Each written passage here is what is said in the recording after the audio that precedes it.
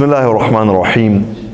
الحمد لله رب العالمين وأفضل الصلاة والسلام على المبعوث رحمة للعالمين سيدنا وحبيبنا محمد وعلى آله وأصحابه أجمعين. أما بعد اللهم علمنا ما ينفعنا وانفعنا بما علمتنا وزدنا علما. اللهم آت نفوسنا تقواها وزكها أنت خير من زكاها أنت وليها ومولاها.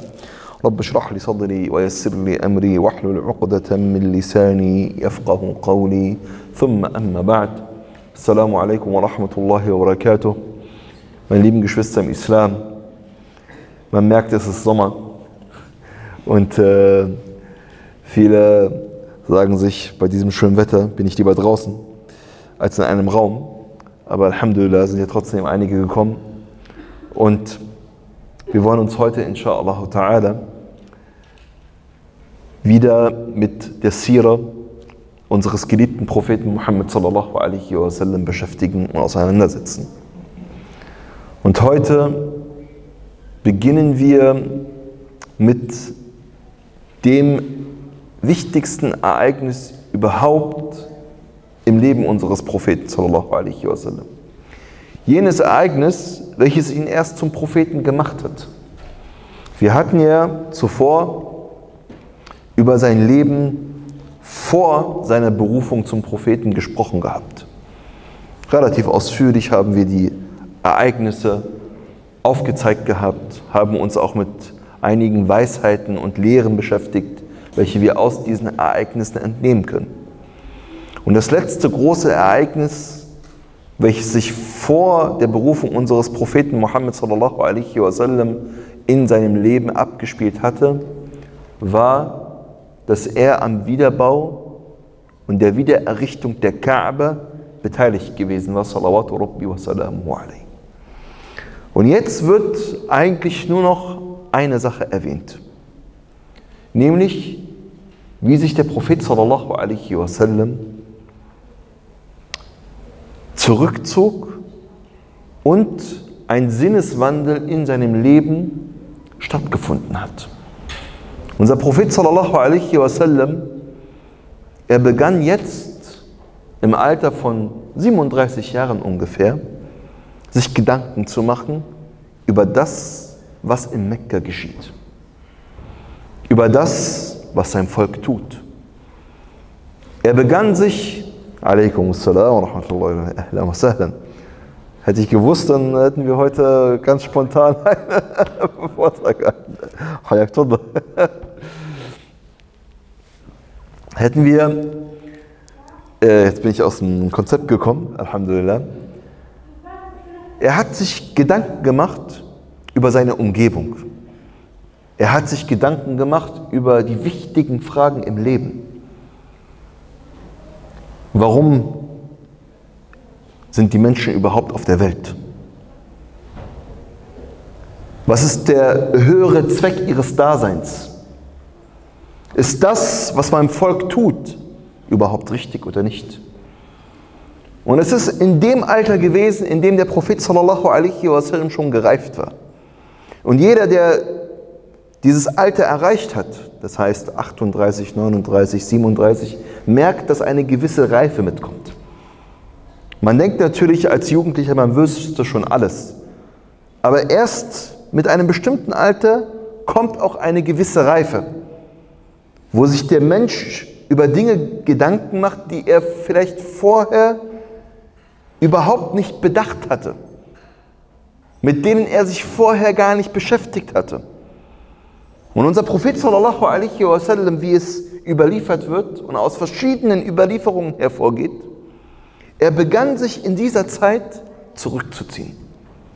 Nicht vollständig, wie es die Mönche tun, sondern auch vor seiner Berufung lebte der Prophet sallallahu alaihi wasallam die Botschaft des Islam, ohne sie zu kennen. Und eine der wichtigsten Eigenschaften der Botschaften des Islam ist welche? Die Ausgeglichenheit. Al-Wasatiyya, Al-Tawazun.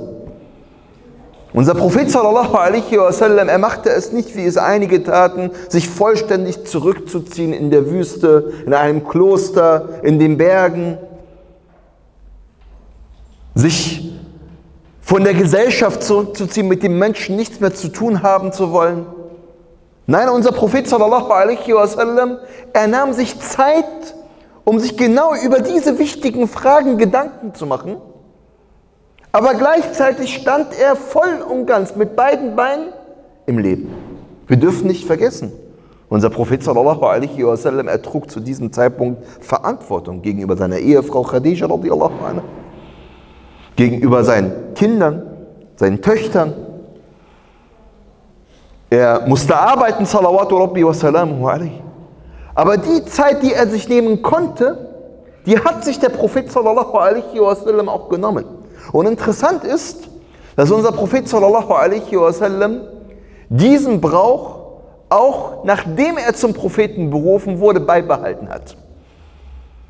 Er hat sich Zeit genommen, um sich noch einmal Gedanken zu machen über sich selbst. Gedanken zu machen über seine Beziehung zu Allah.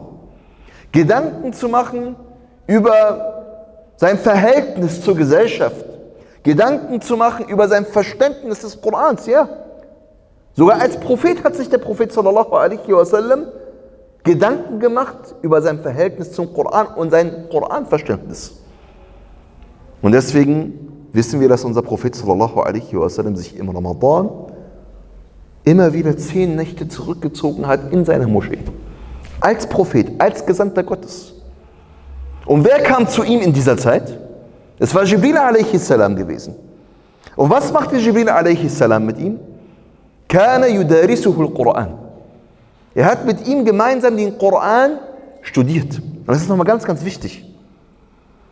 Er hat nicht nur einfach mit ihm den Koran rezitiert, er hat ihn nicht nur einfach gelesen. Jibril hat ihm nicht nur einfach Anordnungen gegeben, wo eine Sure hinkommen soll, wo ein bestimmter Abschnitt aus dem Koran dann hinkommen soll, in welche Sure er gelegt werden soll, weil wir wissen ja, dass der Koran immer vereinzelt zu unterschiedlichen Situationen offenbart wurde sondern es war eine Mudarasa gewesen. Was ist eine Mudarasa? Mudarasa ist etwas, wo wir mit einer anderen Person oder mit anderen Personen zusammensitzen und uns gemeinsam Gedanken machen. Und dadurch eröffnen sich ganz andere Horizonte. Weil du nämlich mit jemandem gemeinsam dir darüber Gedanken machst. Und genau das brauche ich auch als Muslim. So wie es unser Prophet sallallahu alaihi wasallam vorher getan hat. So wie er es als Prophet getan hat, muss ich es auch tun als Muslim. Ich brauche immer wieder eine gewisse Auszeit, wo ich mich mit nichts anderem beschäftige als mit mir selbst. Gerade in unserer heutigen Zeit. Und das merken wir immer wieder. Wo wir abgelenkt sind durch so viele äußere Einflüsse. Wie noch nie zuvor die Menschen abgelenkt wurden. Noch nie zuvor gab es eine Zeit, wo die Menschen permanent durch Nachrichten, permanent durch Anrufe, permanent durch äh, irgendwelche äh, Anfragen abgelenkt wurden, wie in unserer heutigen Zeit. Und gerade in unserer heutigen Zeit ist es so wichtig, dass wir noch einmal genau das tun, was unser Prophet sallallahu alaihi wasallam uns vorgelebt hat. Nämlich einfach mal eine Auszeit. Wo stehe ich eigentlich?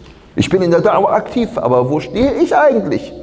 Ich halte Vorträge, ich gebe Anweisungen, ich mache den Menschen Ratschläge, aber was von dem, was ich den Menschen beibringe, praktiziere ich eigentlich selbst? Ich versuche die Menschen Allah näher zu bringen, aber bin ich selbst Allah nahe oder nicht? Das ist eine unglaublich wichtige Frage, die sich an jeder von uns stellen muss. Egal, ob er Vorträge hält oder ob er in irgendeiner anderen Weise etwas tut, ich brauche diese Zeit.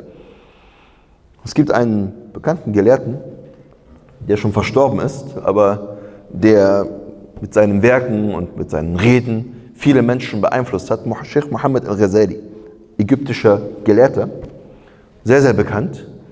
Und es wird von ihm erzählt, dass er sich immer wieder genau diese Zeit genommen hat. Das war natürlich noch vor der Zeit des Internets und vor der Zeit, wo es, äh, wie gesagt, äh, überall ein Bild von dem Sheikh gab. Ja, Fernsehen war noch relativ rar gewesen. Und es wird überliefert von ihm, dass er sich immer wieder in kleineren Dörfern in den Moscheen für ein paar Tage zurückgezogen hat und nicht erreichbar gewesen ist. Keiner wusste, wo er ist. Er war einfach weg gewesen. Und keiner kannte ihn, weil es damals noch nicht, wie gesagt, dieses Fernsehen gab, oder es gab schon Fernseher, aber es war noch nicht so verbreitet gewesen. Sein Gesicht war nicht allen bekannt gewesen. Und er hat sich einfach dann dort zurückgezogen für einige Tage und nichts anderes getan, als sich mit sich selbst zu beschäftigen. Und das brauche ich, damit ich mich nicht selbst vergesse, damit ich selbst Allah subhanahu wa ta'ala näher kommen kann. Ich brauche diese Tazkiyatun Nafs. Und das ist das, was der Prophet sallallahu alaihi wasallam als allererstes getan hat. Und schaut mal, wie es überliefert wird dass Allah subhanahu wa ta'ala, und das finden wir auch in der Überlieferung von Aisha radiallahu anha in Sahih al-Bukhari, dass Hubbiba ilayhi al-Khala. Also es wurde ihm lieb gemacht, sich etwas zurückzuziehen. Und er hat sich meistens im Ramadan für ein paar Wochen zurückgezogen. Und obwohl er sich zurückgezogen hat, und jetzt kommt dieser Ausgleich wieder, hat der Prophet sallallahu alaihi wasallam nicht den Anschluss zur Gesellschaft komplett verloren, sondern es wird überliefert, dass hin und wieder mal seine Ehefrau Khadija radiallahu anha zu ihm kam, um ihm beispielsweise Proviant vorbeizubringen. Und hat sich auch ein wenig mit ihm zurückgezogen. In der Höhle Hira in Mekka, im nördlichen Teil Mekkas. Es wird auch überliefert, dass es immer wieder auch Bedürftige gab, denen der Prophet sallallahu alaihi wasallam geholfen hat. Aber er war doch auf dem Berg gewesen. Wie kamen die Bedürftigen dorthin? In dem Buch von äh, Professor Hamidullah schreibt der Autor, dass höchstwahrscheinlich diese Höhle bekannt gewesen war und auch immer wieder Leute dort sozusagen mal hochgeklettert sind, gerade bedürftige Leute, um sich zurückzuziehen. Und es auch üblich gewesen war zu damaligen Zeiten, das ist vielleicht auch der Grund, warum dieser Berg Jabal al-Nur heißt, der Berg des Lichtes, in dem sich die Höhle von Hira befindet, dass es auch üblich gewesen war, dass man dann auf dem Berg ein Lagerfeuer, also ein Feuer anzündet, sodass die Menschen sehen konnten, dass dort oben jemand ist, sodass einige bedürftige Menschen dann dort vorbeigekommen sind, in der Hoffnung, dass sie dort vielleicht etwas zu essen bekommen. Das heißt, obwohl der Prophet wasallam sich zurückgezogen hatte, hatte er auch immer noch Zeit gehabt, was zu tun? Sich um die Menschen zu kümmern. Er war immer noch für die Bedürftigen da gewesen. Und so ist die Einstellung des Muslims. Ich ziehe mich nicht zurück, um mich vollständig zurückzuziehen. Nein, ich ziehe mich zurück, damit ich die Kraft habe, noch mehr Gutes zu tun. Noch mehr für die Gesellschaft da zu sein. Und dementsprechend sagt ja auch unser geliebter Prophet Muhammad sallallahu alaihi wasallam, Al-Mu'min, yukhalitu nas wa yasbiru ala adahum. Der Mu'min, der sich unter die Menschen mischt und geduldig ist gegenüber ihrem Schaden. Khayrun oder afdalu indallah. من المؤمن الذي لا يخالط الناس ولا يصبر على أذاهم ist besser als jener Mu'min, der nicht, der sich nicht unter die Menschen mischt.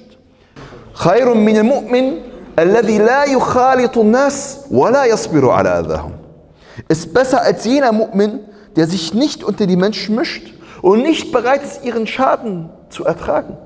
Und unser Prophet sallallahu alaihi wasallam, er sagt auch in einer anderen Überlieferung, ja, was sehr, sehr wichtig das sind die Eigenschaften ja, eines Mu'mins, die Allah subhanahu wa ta'ala auch von uns verlangt. Und zwar, Innal Mu'min ya'laf wa yu'laf. Der Mu'min ist jemand, wie kann man das übersetzen, ya'laf und yu'laf? Also jemand, der also offen ist für die Menschen, der also die Menschen verbindet miteinander und zu denen die Menschen auch gerne Kontakt aufnehmen. Das ist die Eigenschaft eines Mu'mins. Das ist nicht jemand, der sich zurückzieht, allein ist und seine Dinge Sachen. Nein! Und genau das hat unser Prophet wasallam auch vorgelebt. Dass er trotz seiner Zurückgezogenheit mit dem Menschen Kontakt hatte und dem Menschen auch etwas gegeben hat. Und das ist die Quintessenz unseres Glaubens. Ich läutere mich um, dem Menschen etwas zu geben. Ich bete fünfmal am Tag, damit mir Allah die Kraft gibt, dass ich noch mehr Gutes tun kann für die Menschen. Ich faste im Ramadan, damit ich von den Menschen alles Schlechte, all meine schlechten Eigenschaften, alle meine schlechten Handlungen zurückhalte, von ihm fernhalte. Ich mache die Hajj, damit ich mich darin noch einmal trainiere. All das tue ich doch, damit ich dann am Ende ein besserer Mensch bin innerhalb der Gesellschaft. Und das ist genau das, was die Menschen sehen müssen. Und auf jeden Fall zog sich unser geliebter Prophet Muhammad sallallahu alaihi wasallam zurück in Ghar Hira und jetzt berichtet Aisha radiallahu anha in dieser Überlieferung bei Al-Bukhari gleich am Anfang von Sahih Bukhari, die, zweite, die dritte oder zweite Überlieferung. Und zwar berichtet sie, إن أول ما بدأ به رسول الله صلى الله عليه وسلم من الوحي الرؤيا الصادقة في النوم. Das allererste, womit der Prophet sallallahu alaihi wasallam dann an Offenbarung, also die allerersten Erfahrungen mit der Offenbarung, ist was? Ru'ya as-sadiqa fi Das wahre, und in manchen Überlieferungen heißt es Ru'ya as-saliha, das fromme, rechtschaffene, das wahre Traumgesicht im Schlaf. Allah subhanahu wa ta'ala, er wollte unseren Propheten Muhammad sallallahu alaihi wasallam langsam an die Offenbarung heranführen. Das ist ganz, ganz wichtig. Obwohl er der Gesandte Allahs gewesen ist, musste er als Mensch, und er war ein Mensch gewesen, an die Sache herangeführt werden. Und das ist auch nochmal ganz wichtig für uns persönlich. Wenn wir versuchen, Menschen an die Offenbarung Allahs heranzuführen, dann müssen wir versuchen, sie langsam an die Offenbarung Allahs heranzuführen. Ich meine, das ist der Gesandte Allahs gewesen, der die Offenbarung empfangen hat. Und er musste langsam herangeführt werden. Wie ist es dann erst mit einem normalen Menschen? Mit all seinen Schwächen, mit all seinen Fehlern. Er muss erst recht langsam an die Offenbarung Allahs herangeführt werden. Und genau das hat der Koran getan. Der Koran hat 13 Jahre lang nichts anderes gemacht, als die Menschen erst einmal darauf vorzubereiten. Und dann erst kamen die Gebote. Und deswegen sagt unsere Mutter Aisha radiallahu anha, hatte Allah subhanahu wa ta'ala vom ersten Moment an verlangt, dass wir kein Alkohol trinken sollen und dass wir keinen Sinner machen sollen, dann hätte es keiner von uns getan. Und deswegen hat der Koran erst einmal die Menschen erzogen und herangeführt, sodass sie dann bereit gewesen sind. Und ebenfalls wir, wenn wir versuchen, die Menschen an die Offenbarung Allahs heranzuführen, müssen wir uns zunächst erst einmal genau dies vor Augen halten, dass dies Zeit benötigt. Und dass die Menschen nicht vom ersten Moment an alles akzeptieren werden. Ich kann mich noch erinnern, das ist schon einige Jahre her, mein Bruder ist hier aus Berlin, der ist äh, zum Islam konvertiert, ein ganz junger damals und äh, war so ein, auch Freundin, alles drum und dran. Und, äh, und dann äh, kann ich mich sehr gut an diesen Satz erinnern. Also, egal was ist, ja, also wenn ich, auch wenn ich Muslim werden sollte, also meine Frau oder meine Freundin wird niemals Kopftuch tragen. äh, niemals, kannst mir erzählen, was du willst. Ja? Und jetzt äh, ja, hat sich das alles geändert. Ja? Und so ist das. Ja? Die Menschen müssen langsam herangeführt werden. Genauso auch, wenn jetzt beispielsweise eine Schwester den Islam annimmt. Ich kann nicht von ihr verlangen gleich, äh, Kopftuch. Nein, soll sie sich langsam entwickeln. Und wenn sie dann irgendwann einmal von sich aus bereit sein sollte, das zu machen, dann soll sie es tun. Und selbst wenn sie nie bereit sein sollte, Alhamdulillah, sie hat zumindest die Shahada ausgesprochen. Und das gilt für alle anderen Dinge genauso. Wir müssen die Menschen langsam an die Offenbarung Allah subhanahu wa ta'ala heranführen. Genauso wie unser Prophet sallallahu alaihi wasallam langsam herangeführt wurde. Sechs Monate erst einmal. Nur damit er nicht überwältigt wird. Seine menschliche Natur muss sich langsam daran gewöhnen, dass sie in Kontakt tritt mit Allah subhanahu wa ta'ala und mit der Offenbarung Allah subhanahu wa ta'ala. Und wir werden gleich sehen, wie schwierig das für den Propheten gewesen ist, wie anstrengend das für ihn gewesen ist, für seine menschliche Natur, wie sehr er darunter gelitten hat, wenn er eine Offenbarung empfangen hat, bis zum Ende seines Lebens. Wir werden das gleich sehen, inshallah ta'ala, anhand einiger Überlieferungen, wie eine, was für eine große Bürde es für den Propheten sallallahu alaihi wasallam gewesen war, wenn er dann eine Offenbarung erhalten hat. Und jetzt sagt Aisha, فَكَانَ لَا يَرَى رُؤْيَا إِلَّا جَاءَتْ مِثْلَ فَلَقِ الصُّبْحِ Und er hat kein Traumgesicht gesehen, außer dass es so deutlich gewesen war wie die morgenden Augen. Klar und deutlich, also nicht irgendein Traum, den der Prophet sallallahu alaihi wasallam gesehen hat, sondern es war ein klarer und ein deutlicher Traum gesehen, gewesen, den der Prophet sallallahu alaihi wasallam gesehen hat. Und jetzt sagt sie, ثُمَّ حُبِّبَ إِلَيْهِ الْخَلَامِ Wahrscheinlich hatte er sich schon vorher zurückgezogen gehabt. Aber in der letzten Zeit war es nochmal etwas intensiver gewesen, wo sich der Prophet sallallahu alaihi wasallam zurückgezogen hat. Und interessant ist, dass der Prophet sallallahu alaihi wasallam, wie es aus einigen Überlieferungen hervorgeht, wie lange diese Traumgesichter vorher gesehen hat. Er hat diese Traumgesichter insgesamt sechs Monate vor seiner ersten Offenbarung gesehen. Und wie lange war er Prophet gewesen? 23 Jahre, wie es die meisten Gelehrten sagen. Und was sagt der Prophet sallallahu alaihi wasallam in einer anderen Überlieferung?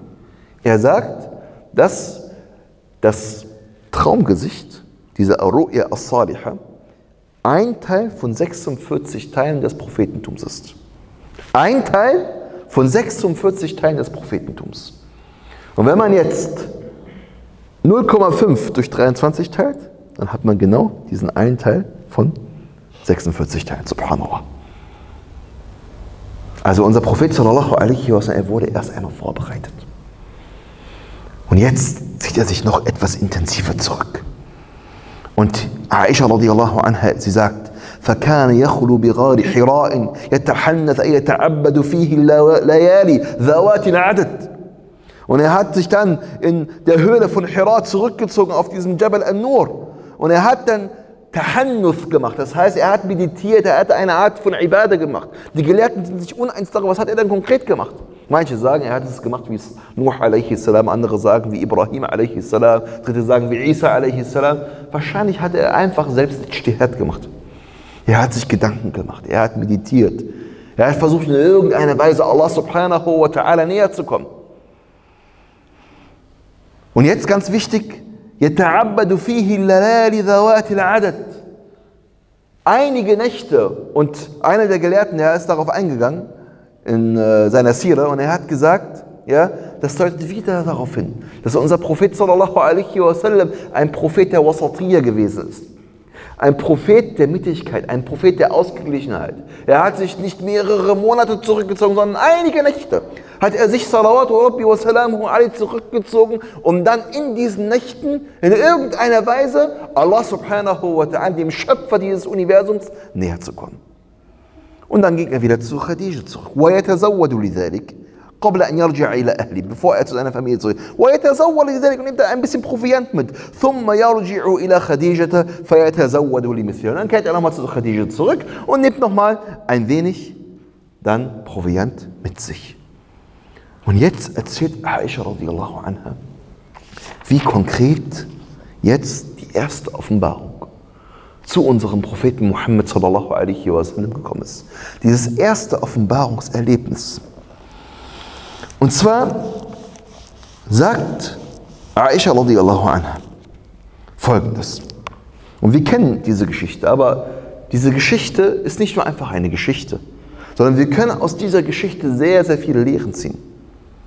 Und dementsprechend wollen wir uns diese Überlieferung, gerade diese Überlieferung, die wir in Sahih al-Bukhari finden, noch einmal etwas genauer anschauen und etwas genauer analysieren. Und zwar Achso, vielleicht noch dieser Hadith, den ich äh, äh, vorhin erwähnt hatte, den habe ich noch nicht äh, zu Ende erwähnt gehabt, el mu'minu ya'laf wa yu'laf. Also der Mu'min ist jemand sozusagen, zu dem die Menschen Kontakt aufnehmen und der auch zu den Menschen Kontakt aufnimmt. Und dann sagt der Prophet sallallahu alaihi wasallam, wa la khayra fi man la ya'laf wa la yu'laf. Und derjenige, der, wie gesagt, zu den Menschen keinen Kontakt haben wollen und der auch zu den Menschen keinen Kontakt haben möchte, also der asozial ist mit anderen Worten, ja, ja, so, asozial ist ja nichts anderes als jemand, der mit Menschen nicht kann. Ja? In dem liegt nichts Gutes. Und der Beste unter den Menschen ist derjenige, der am nützlichsten für die Menschen ist. Unser Prophet sallallahu alaihi wasallam, er hat sich jetzt also zurückgezogen im Ramadan. Er war 40 Jahre alt gewesen. Und jetzt berichtet Aisha radiallahu anha, dass die Wahrheit zu ihm kommt. Hatta faja'ahul haqq. Jetzt überrascht ihn die Wahrheit. Und was geschieht konkret? Genau das berichtet jetzt Aisha radiallahu anha. Und zwar kommt jetzt Jibril a.s. in der Gestalt eines Mannes zu unserem Propheten Muhammad sallallahu alaihi wasallam. Das ist ein ganz, ganz wichtiger Aspekt. Und zwar, unser Prophet sallallahu alaihi wasallam, er ist in dem Moment, wo Jibril a.s. mit der ersten Offenbarung zu ihm kam, im Wachzustand gewesen. Er ist voll bei Bewusstsein gewesen. Das heißt, unser Prophet sallallahu alaihi wasallam, er hat nicht geschlafen. Es war nicht im Traum gewesen. Bei Ibn Ishaq wird überliefert, dass diese erste Offenbarung im Schlaf gewesen ist. Aber die Gelehrten sagen, erstens ist die Überlieferung bei Bukhari authentischer und zweitens sagen, man kann sie miteinander vereinen, indem man sagt, dass sozusagen sie beim ersten Mal im Schlaf gekommen ist, also wieder in einer Art Traumgesicht. Und dann die erste wahre Offenbarung kam dann über Jibril a.s.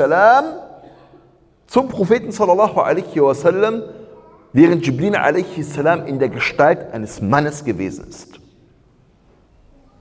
Und jetzt kommt dieser Mann zu ihm und er verlangt von ihm, wie wir alle wissen, zu lesen oder zu rezitieren.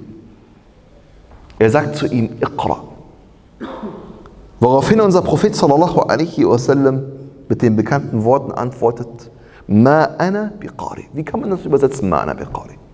Wie würdet ihr das übersetzen? Ma ana biqari. Was soll ich lesen? Ja. Was könnte man noch, wie könnte man das noch übersetzen? Ich kann nicht lesen. Hm? Ja, muss man schauen, ja. Was soll ich überhaupt lesen? Ja? Was soll ich denn lesen?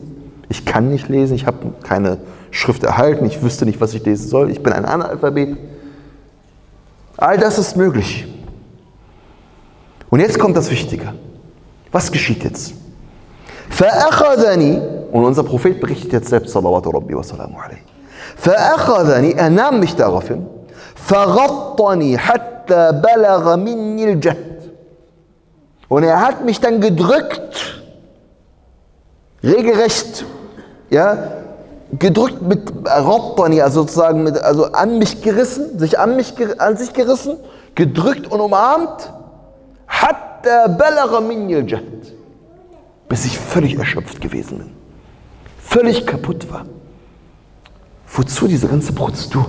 Das war das erste Mal. Dann kommt ja noch das zweite und das dritte Mal, wie wir alle wissen. Wozu kommt erstens Jibril a.s. in der Gestalt eines Mannes? Warum kommt nicht Jibril a.s., so wie es dann später in der Regel der Fall gewesen ist, auf ihn herab? Was würdet ihr sagen? Was könnte der Grund sein? Warum kommt Jibril a.s. zu ihm in der Gestalt eines Mannes? Ja.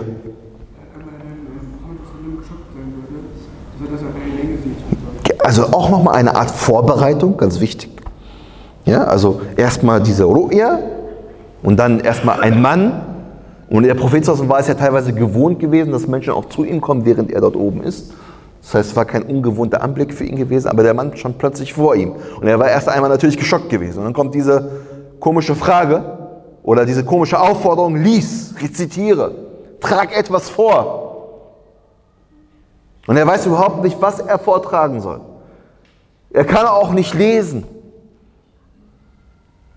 Und jetzt kommt Jibril und umarmt ihn. Wozu umarmt er ihn? Aus welchem Grund umarmt er ihn? Es soll ihm nochmal klar sein, er schläft nicht. Das ist kein Traum. Ne? Das ist die Wahrheit.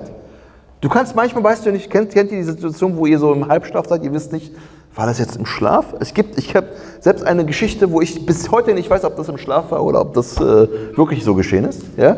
Manchmal ist man sich unsicher, war das jetzt Schlaf gewesen oder war das jetzt wirklich echt gewesen, war das Realität gewesen? Es könnte ja sein, dass er das nur träumt, dass er irgendwie im Halbschlaf ist oder während er meditiert hat, ein bisschen eingenickt ist und jetzt sieht er einen Mann und denkt, dieser Mann sagt das zu ihm. Nein, er nimmt ihn jetzt, umarmt ihn und drückt ihn. So doll, dass er nicht mehr kann.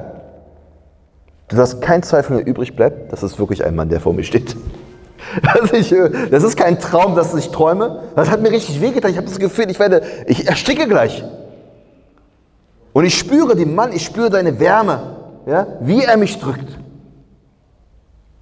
Könnte man sagen, okay, es ist immer noch vielleicht ein Schlaf, ein Traum, ja, wo man, kennt ihr diese Träume, wo man manchmal so nicht, nicht mehr atmen kann und äh, kennt ihr das? Wenn man nicht mehr atmen kann das Gefühl hat, man erstickt gleich, ja, und dann plötzlich wacht man auf. Ja? Gibt es ja auch. Aber nein, da steht, der Mann steht immer noch vor mir. Und er sagt jetzt nochmal genau dasselbe zu mir. Genau dasselbe. Iqra, trag vor. Unser Prophet weiß immer noch nicht, was er antworten soll. Mana biqari. Was soll ich vortragen? Ich kann nichts vortragen, ich kann nicht lesen. Und er nimmt ihn wieder, فأخذني الثانية فغطني حتى بلغ مني الجهد und er nahm mich noch einmal und er hat mich dann umarmt und gedrückt, bis ich völlig erschöpft gewesen war und nicht mehr konnte. ثم أرسلني und dann ließ er mich los. Das ist wirklich kein Traum, er steht immer noch vor mir. er steht wirklich immer noch vor mir. Und er sagt zu mir zum dritten Mal, Iqra, lies, trag vor. Und er, salawatu rabbi wa salamu alayhi, antwortet wieder mit derselben Sache. Und er nimmt ihn ein drittes Mal. فأخذني und er nahm mich. فغطني الثالثة und er drückte mich dann zum dritten Mal. Und der Prophet betont auch zum dritten Mal. حتى بلغ مني الجهد bis ich nicht mehr konnte, bis ich völlig erschöpft gewesen bin. ثم أرسلني und dann ließ er mich wieder los. Das ist auch ganz, ganz wichtig, noch eine andere Hikmah. Ja? Allah Ta'ala, er möchte den Propheten aufzeigen, das, was jetzt kommt, ist ganz wichtig. Und du fühlst dich erst einmal ganz eingeengt und jetzt kommt die Erleichterung. Und genauso ist es auch mit der Offenbarung. Allah Ta'ala, er sagt, Inna sanulqi alayka qawlan thaqila. Wir werden auf dich eine schwere Worte herablassen. Die Worte sind schwer, aber was machen diese Worte mit einem? Sie sind erst einmal schwer, aber was machen sie mit einem? Das sind Gebote, die auf mich herabkommen. Verantwortung. Kein Mensch möchte Verantwortung tragen. Aber am Ende fühle ich mich wohl. Guck mal, ein Mensch, wenn er heiratet, geht er was ein? Verantwortung. Eigentlich hat keiner Lust auf Verantwortung. Aber am Ende, wenn er Kinder hat und dann groß wird und so weiter und so fort, dann Alhamdulillah, dass ich diese Verantwortung auf mich genommen habe. Er fühlt sich wohl, weil er hat das Gefühl, ah, es hat etwas in meinem Leben gefehlt, obwohl es Verantwortung ist. Es ist nicht immer einfach mit dem Ehepartner, Streit und so weiter. Und ich muss arbeiten, ich muss mich um meine Kinder kümmern. Meine Kinder werden älter und umso älter, älter, umso älter die Kinder werden, desto größer werden die Probleme. Aber am Ende sage ich Alhamdulillah. Ich würde niemals darauf verzichten wollen. Ich fühle mich jetzt als Mensch wirklich vollkommen. Jetzt fühle ich diese Geborgenheit, so wie es Allah Ta'ala im Koran sagt. ومن آياته أن خلق لكم من أنفسكم أزواجا لتسكنوا إليها.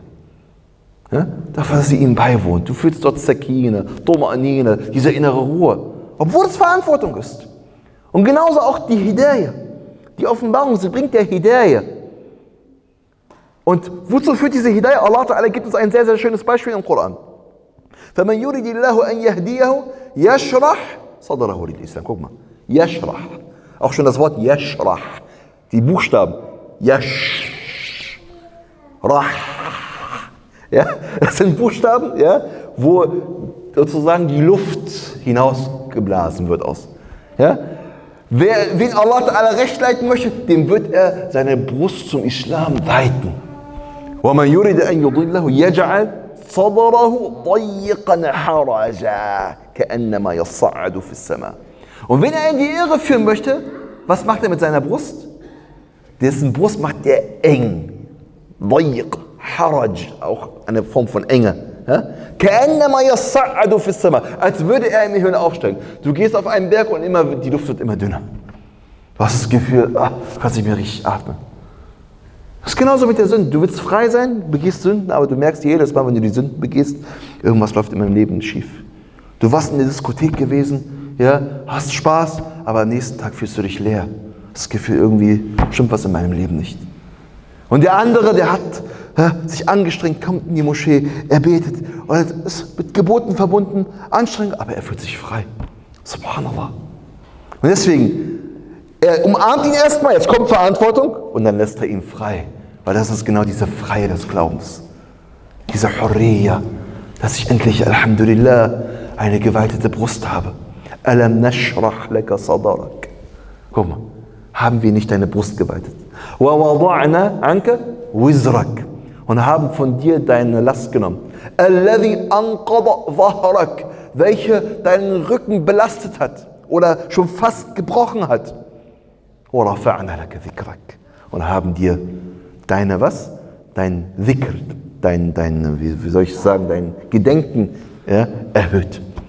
Und dementsprechend ganz, ganz wichtig. Ja, es mag sein, dass erst einmal, wenn du den Islam betrachtest, sagst du, boah, Gebote, fünfmal am Tag beten. Ich sehe meine Freunde, die auf der, die machen nichts, die beten nicht, die haben Spaß, weiß ich nicht was. Freundin, Freund, äh, keine Ahnung, machen was sie wollen. Aber seid euch sicher. Am Ende, wenn ihr diesen Weg geht, wenn ihr die Offenbarung Allahs in eure Herzen gelangen lasst, wenn ihr bereit seid, die Gebote Allahs zu befolgen, werdet ihr diejenigen sein, genau diese Weite in ihrem Leben und in ihrer Brust und in ihrem Herzen verspüren werden. Am Anfang kommt es dir vor wie eine Enge, aber dann wirst du merken, oh, das ist die wahre Freiheit, dass ich mich an die Gebote Allahs halte. Und jetzt kommt diese erste Offenbarung. Und er ließ ihn, und dann ließ er mich los. Nach dem dritten Mal, wo kein Zweifel mehr besteht, dass wirklich dort ein Mann steht. Kein Zweifel mehr besteht, dass da wirklich jemand ist, der zu ihm sagt, lies. Und jetzt kommt diese erste Offenbarung. اقرأ باسم ربك الذي خلق خلق الإنسان من علق اقرأ وربك الأكرم الذي علم بالقلم علم الإنسان ما لم يعلم Lies im Namen deines Herrn, der dich erschuf. Er schuf aus einem Blutgerinnsel oder einem Blutegel oder je nachdem, wie man es übersetzt. akram lies und dein Herr ist der edelste. Der mit dem Schreibrohr gelehrt hat. Gelehrt hat dem Menschen, was er nicht wusste. In diesen Versen hat uns Allah Ta'ala aufgezeigt, wie wir zu der Erkenntnis Gottes gelangen können. Auf zwei Wege. Einmal über Iqra. Das heißt, dass ich mich mit der Offenbarung Allahs beschäftige. Und deswegen sagen die Gelehrten, dass der Prophet sallallahu alaihi wasallam zum Propheten wurde durch was? Durch Iqra. Er wurde zum Propheten, das heißt, er wurde zu jemandem, der die Offenbarung entgegennimmt, durch die Worte Iqra lies. Und er wurde zum Gesandten, der dann zu den Menschen gesandt wurde, um eine konkrete Botschaft zu verkünden, durch die Worte, O du Bedeckter, um Das heißt, der erste Weg ist, dass ich mir Gedanken mache über die Worte, die Allah Ta'ala mir offenbart. Und dementsprechend unser Prophet, er machte sich Gedanken, aber es fehlte ihm diese Offenbarung. Und die erhielt er durch Iqra. Und der zweite Weg ist, dass ich mich beschäftige mit dem Wissen. Und mit dem Wissen ist nicht nur das Wissen gemeint, was ich in der Schule lerne. Nein, mit dem Wissen ist vielmehr gemeint, dass ich mich mit der Schöpfung Gottes beschäftige. Mit dem Universumsbuch, mit dem Schöpfungsbuch, mit dem, was Allah Ta'ala mir gegeben hat. Ich muss kein Gelehrter sein, um zu der Erkenntnis zu gelangen, dass alles auf einen Schöpfer hindeutet, sondern ich muss einfach nur meinen Verstand benutzen. Und hier sind alle Menschen gleich, außer jemand, der verrückt ist. Außer jemand, der verrückt ist. Und dementsprechend ist es ganz, ganz wichtig, dass wir uns immer wieder beschäftigen. Dass wir uns beschäftigen mit der Schöpfung Allahs, aber gleichzeitig auch mit der Offenbarung Allahs subhanahu wa ta'ala. Und jetzt, unsere Mutter Aisha radiallahu anha berichtet dann daraufhin, was jetzt geschah. Dass das Herz unseres Propheten Muhammad sallallahu alaihi wasallam regelrecht bebte. Sein Inneres bebte, sein gesamter Körper bebte. Er zitterte sallallahu alaihi wasallam. Es war ein Ereignis gewesen, was er so vorher noch nie erlebt hatte. Er hatte Traumgesichter gesehen, vieles gesehen, aber das hatte er noch nie erlebt gehabt. Und er wandte sich direkt zu seiner Ehefrau Khadija radiallahu anha. Hatta dakhala ala Khadija. Und er sagte seine bekannten Worte, Zammiruni, Zammiruni, bedeckt mich, bedeckt mich. Hatta dhahaba anhu rawr. Bis er sich wieder beruhigt hatte und die Angst von ihm ging. Und jetzt sagte der Prophet sallallahu alaihi wasallam folgende Worte zu seiner Ehefrau Khadija. Ja Khadija, Mali, khashitu ala nafsi. Oh Khadija, was ist los mit mir? Ich hatte schon Angst um mich selbst gehabt. Und jetzt hört euch diese schönen Worte von Khadija an. Worte, die man wirklich in einen Felsen einmeißeln kann. Worte, die man mit Goldwasser niederschreiben sollte. Worte, die unserem Propheten sallallahu alaihi wasallam ganz genau beschreiben, wie er gewesen ist. Was er für ein edles Metall gewesen ist, bevor er zum Propheten wurde. Und das Prophetentum eigentlich nur noch dann diesen Diamanten, der ohnehin schon vorhanden gewesen war, schliff. Er war ein Diamant gewesen, sallallahu alaihi wasallam. Und die Offenbarung hat ihn dann nur noch zu einem geschliffenen Diamanten gemacht. Und deswegen hört man, Khadija radiallahu anha sagt jetzt, Kalla, Wallah. La yukhzika Allahu abada. Nein, bei Allah, sie war sich sicher gewesen. Allah wird dich niemals im Stich lassen. Niemals. Warum? Innaka latasilur rahim. Du bist jemand, der die Verwandtschaftswande pflegt. Und der ehrlich ist. Und du, guck mal, hört mal, Tahmil, was heißt denn Tahmil auf Arabisch? Tahmil heißt tragen. Und was ist ein Kell? Ein Kell ist jemand, der ajiz ist, der sich nicht, sich nicht, um sich selbst kümmern kann, der bedürftig ist, der auf andere angewiesen ist. Sie sagt nicht, wo Tu'inul Kell, sondern sie sagt, du trägst ihn regelrecht auf deinen Händen. Guck mal. Das ist jemand gewesen, sallallahu alaihi wasallam, der die Menschen regelrecht auf seinen Händen getragen hat. Das war vor dem Islam, bevor er Prophet war. Wa taksibu oder tuksibul ma'dum. Beides ist richtig. Taksibul ma'dum, das heißt, du schaffst es, Dinge zu verdienen, die andere nicht verdienen können. Fast nahe unmöglich. Also du bist sozusagen sogar in deiner Arbeit sehr, sehr gut.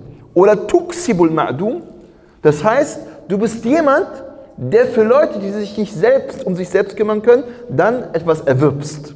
Also wieder spendest und dich um ihre Angelegenheiten kümmerst. Und du bewirtest deinen Gast. Und du bist jemand, der den Menschen hilft bei einem Schicksalsschlag. Das sind die Eigenschaften unseres Propheten vor dem Islam gewesen. So ein Mensch, der so ist, meint ihr, so einen Menschen wird Allah im Stich lassen? Nein. Und Khadija war sich sicher gewesen. Das sind Eigenschaften, die der Prophet sallallahu alaihi wasallam hatte, bevor er zum Propheten wurde. Und nachdem er Prophet war, wurde dies nur noch bestätigt durch ihn, durch seine Worte. Und genau das sind Eigenschaften, die ich mir als Muslim aneignen sollte. Eigenschaften, die ich in meinem Leben brauche. Und schaut mal, lass uns noch mal ganz kurz gucken. Ja? Eine Eigenschaft von diesen fünf Eigenschaften, die Khadija erwähnt hatte, beziehen sich auf seine sozusagen auf eine seiner sozusagen Wesenseigenschaften, nämlich dass er immer ehrlich gewesen war. Vier Eigenschaften beziehen sich auf die Mitmenschen. Dass der Prophet wasallam immer für die Menschen da war, ob es seine Familie war oder ob es fremde Menschen gewesen sind. Er war immer für sie da gewesen. Wenn du also, mein lieber Bruder, meine liebe Schwester, den Islam richtig praktizieren willst, dann brauchst du diese Eigenschaften. Die Eigenschaften, die er hatte, bevor er Prophet wurde. Und die er nach dem Prophetentum, nachdem er berufen wurde zum Propheten, mit seinen Worten und ebenfalls mit seinen Taten immer wieder bestätigt hat. Salawatu Rabbi wa salamuhu alayhi. Khadija radiallahu anha, sie war sich sicher gewesen. Das ist die Botschaft Allahs. Aber sie wollte noch sicherer sein. Und zwar hatte sie einen Onkel gehabt. Einen Onkel, der schon sehr, sehr alt gewesen war. Und der schon erblindet war, aber der zum Christentum übergetreten war. Ihr Onkel hieß, entschuldigt, ihr Cousin, Ibn Amir. Ihr Onkel ist ihr Cousin gewesen. Ihr Cousin hieß Waraqa ibn Naufel, ibn Asad ibn Abdul Uzza. Er kannte sogar Hebräisch. Und sie wollte sicher gehen, ob das wirklich eine Offenbarung Gottes ist oder nicht.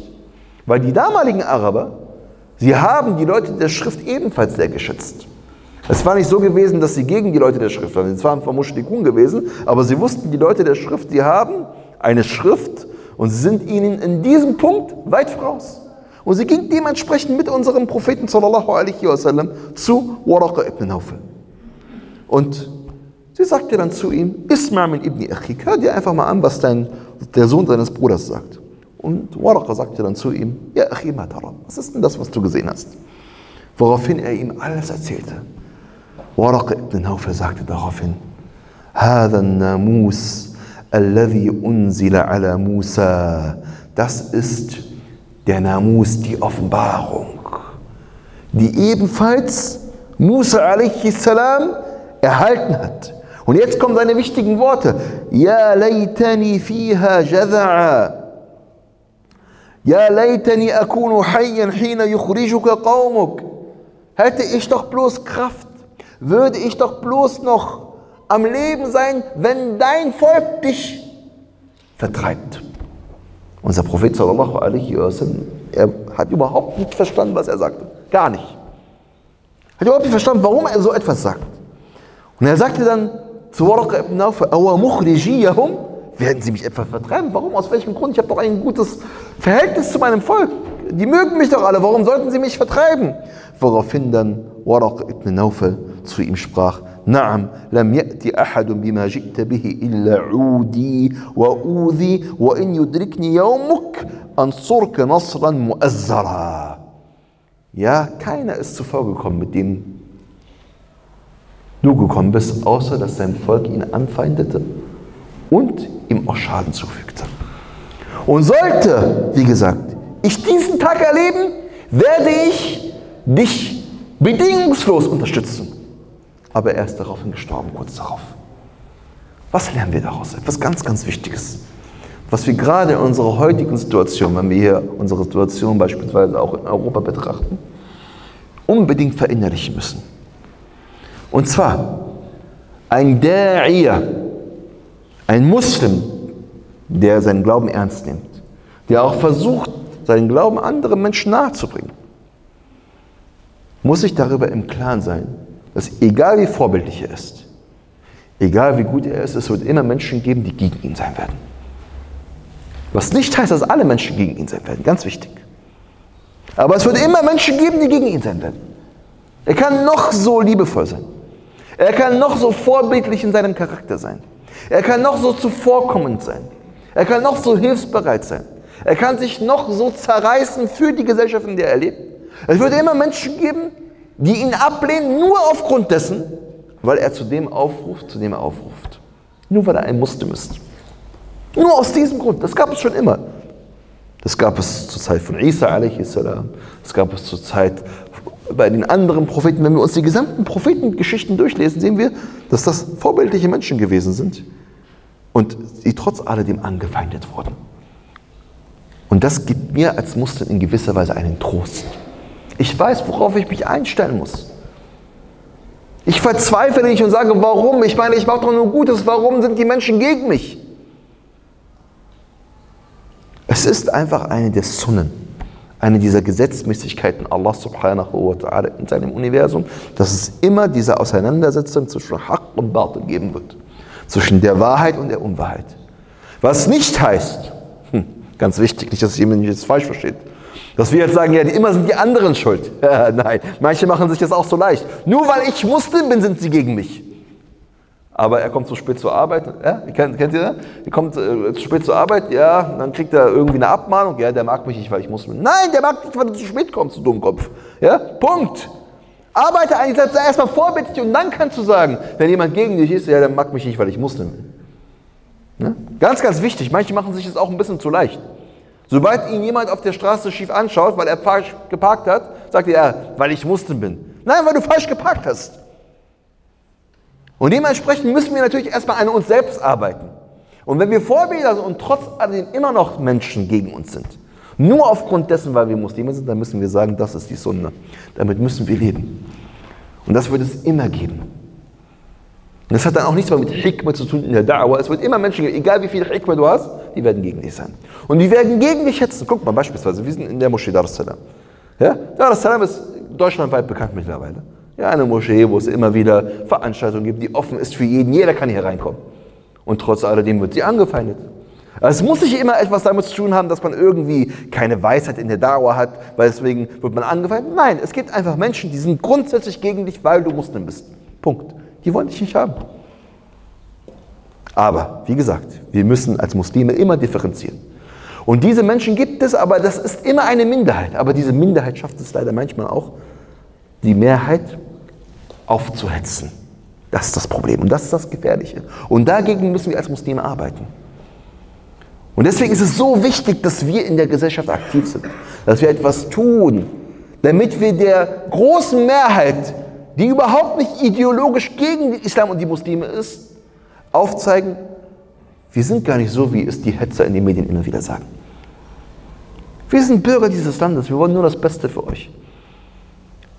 Und wir machen auch keine offensive Mission oder irgendetwas in dem Sinne. Nein, wir sind einfach hier, praktizieren unseren Glauben, unsere Moscheen sind offen. Wer unseren Glauben kennenlernen möchte, über den freuen wir uns, Alhamdulillah. Ja? Aber wir leben friedlich mit euch zusammen. Und das ist das, was wir immer wieder tun müssen. Solange wir es tun können. Solange wir es tun können. Das muss man auch sagen. Es kann auch sein, und ich möchte jetzt nicht den Teufel an die Wand malen, aber es kann sein, dass eine Zeit kommen wird, wo selbst das nicht mehr möglich sein wird. Und wir sehen, dass es leider viele Entwicklungen gibt, die einem Angst machen. Und im Übrigen nicht nur die Muslimen Angst machen, sondern eigentlich jedem Menschen Angst machen, der ein bisschen Sinn für Gerechtigkeit hat. Und eigentlich jeder Minderheit in Europa Angst machen sollten. Nämlich dieser Rechtspopulismus, der immer stärker wird, Tag für Tag. Und die Muslime sind nur ein Vorwand. Aber es geht nicht nur um Muslime, sondern es geht um Muslime, es geht um Juden und es geht um viele andere Minderheiten. Möge Allah subhanahu wa ta'ala unser Land davor bewahren, dass es diesen Weg geht. Weil wenn es erst einmal wieder diesen Weg gehen sollte, dann sieht es für Deutschland schwarz aus. Und die Deutschen werden die Ersten sein und die Europäer werden die Ersten sein, die darunter leiden werden. Weil wenn es erstmal wieder zum Nationalismus kommt, wie wir ihn einmal hatten hier in Europa, dann wird es auch wieder Krieg geben. Und wenn es wieder Krieg geben wird, dann möchte ich nicht wissen, was dann auf diesem Kontinent lohnt sein wird. Möge Allah subhanahu wa ta'ala unser Land und unsere Heimat und unseren Kontinent, auf dem wir leben, davor bewahren, ja Rabbil Alamin. Weil, wie gesagt, ja, es geht da nicht nur um Muslime, sondern es, die werden, schon, werden sich gegenseitig die Köpfe einschlagen. Ja, und das hatten wir ja schon einmal gehabt. Nicht nur einmal, sondern zweimal gehabt. Ja, hier in Europa. Möge Allah subhanahu wa ta'ala äh, unser Land und dieses, äh, diesen Kontinent, auf dem wir leben, davor bewahren, dass es noch einmal zu solch einem äh, Weltkrieg kommt, wo sich die Menschen gegenseitig unnötig die Köpfe einschlagen und nur weil sie glauben, dass die eine Nation besser ist als die andere Nation. Das ist dieses erste Offenbarungserlebnis gewesen von unserem Propheten Muhammad sallallahu alaihi wasallam. Ein gewaltiges. Wir werden das das nächste Mal machen, inshallah wenn wir auf die zweite Offenbarung zu sprechen kommen. Ähm, wie der Prophet sallallahu alaihi wasallam konkret dann, das wollten wir ja machen heute, aber haben wir zeitlich nicht mehr geschafft, die Offenbarung ähm, bekommen hat und erhalten hat, welche Form von Offenbarung es gibt und wie sich der Prophet sallallahu alaihi wasallam dabei gefühlt hat und wie es sich auf seinen Körper, sein menschliches Wesen ausgewirkt hat. Das werden wir inshallah dann das nächste Mal verbinden mit der zweiten Offenbarung. Und wir wollen das nächste Mal uns dann auch anschauen, wie es dann weitergeht mit der Da'wah in Mekka und werden das versuchen mit dieser zweiten Offenbarung inshallah dann auch zu verbinden. Bis dahin inshallah sind wir heute gekommen und wenn ihr jetzt noch Fragen haben solltet, dann könnt ihr gerne inshallah eure Fragen stellen oder Anmerkungen machen.